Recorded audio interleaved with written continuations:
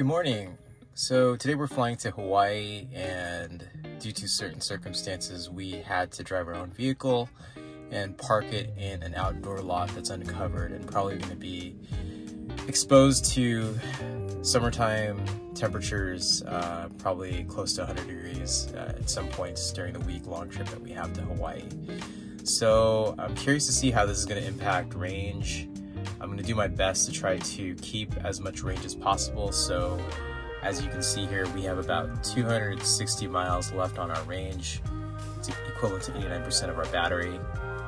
To optimize the situation, I am going to turn off cabin overheat protection.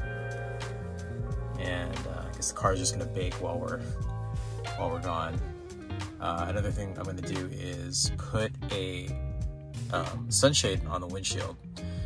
Um, I've also parked by some trees, so hopefully that provides some shade uh, during different parts of the day, depending on the angle of the sun. So we're gonna check back in when we come back a week later and see if that made any difference in terms of keeping as much range as possible.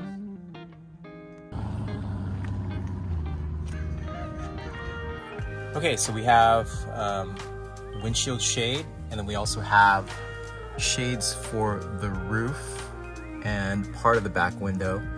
This car is also tinted in both the front and the rear windows, about 35% um, tint. So yeah, let's see how this does during our trip.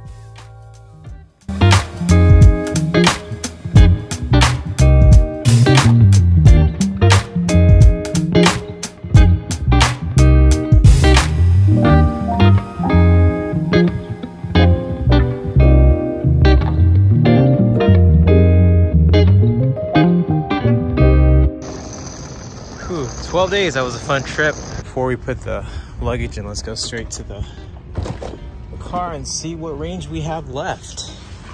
Not sure if you can see that, but it says 62 miles left on the range. So we've lost over 200 miles of range just sitting here for the past 12 days in the heat without uh, cabin overheat protection on. Um, we have 15 Sentry mode events, but um, hope this gives you some idea of what to expect if you leave your vehicle parked outdoors for an extended period of time uh, for a trip. Probably not advisable. Try to find covered parking if you have to do it. If we disabled Sentry mode, the effect on range wouldn't have been as pronounced, but we didn't want the peace of mind of having Sentry mode active while we were away from our vehicle for so long. So I hope this video provided some usefulness to you and I'll catch you on the next one.